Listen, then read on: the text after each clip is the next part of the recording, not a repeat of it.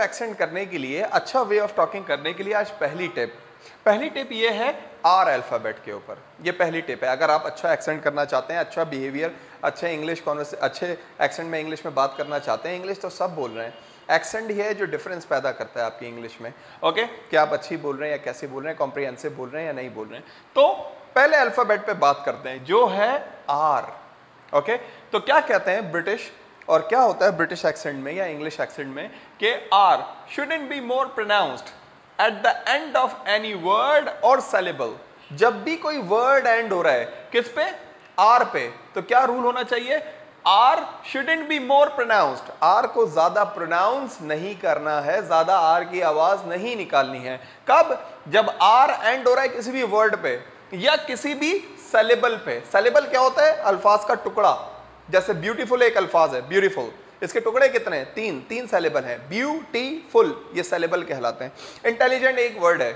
Intelligent इसके कितने saleable हैं? कितने टुकड़े हैं? चार हैं भाई। इंटेलिजेंट चार टुकड़े हैं। तो जब भी कोई वर्ड एंड हो रहा है या वर्ड का टुकड़ा, यानी सेलेबल एंड हो रहा है आर पे तो हमें आर की आवाज़ ज़्यादा नहीं निकालनी है। फॉर एग्ज़ाम्पल मैंने एग्ज़ाम्पल यहाँ पे लिखी है। हम बोलते हैं टीचर तो ये आर जो है ना शुडेंट बी मोर प्रोनाउंस और ज़्यादा प्रोनाउंस नहीं होना चाहिए। Teacher no teacher doctor no doctor transfer no transfer देखें ना हम कहते हैं I want to deliver two packets और वो कह रहे हैं I want to deliver two packets कभी तो इवन आर को साइलेंट करके बिल्कुल एक ही तरह आवाज़ लगती है। Father mother brother transfer deliver performer like this so next one is syllable जब भी कोई सेलेबल एंड हो रहा है आर पे तो जब भी हमें आर को साइलेंट करना चाहिए, जैसे ये लिखा हुआ है नॉर्मल एक वर्ड है ना, दो सेलेबल हैं नॉर्मल तो इसमें नॉर किस पे एंड हो रहा है? पहला सेलेबल आर पे normal is a very normal person, this is a very normal class, this is a very normal rule, normal, इसी तरीके से देखें इंटरव्यू एक वर्ड है, कितने सेलेबल हैं? तीन इंटरव्यू दूसरा वाला सेलेबल किस पे एंड हो रहा है? टर वाला आर पे एंड हो रहा है आर पे तो ये R should not be more pronounce interview interview International, international. Circle, circle. I was sitting in a big circle.